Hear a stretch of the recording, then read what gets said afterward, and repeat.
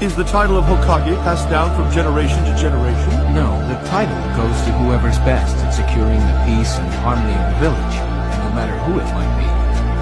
And this guy, in fact, it's Naruto's dream to be Hokage someday.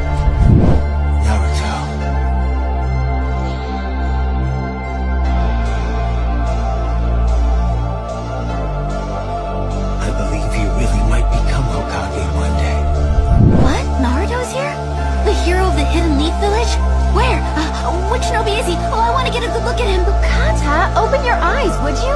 Naruto's the one who released that flashy wind-style jutsu just now. What? Seriously? But how could that be? He's just about the same age as the two of us.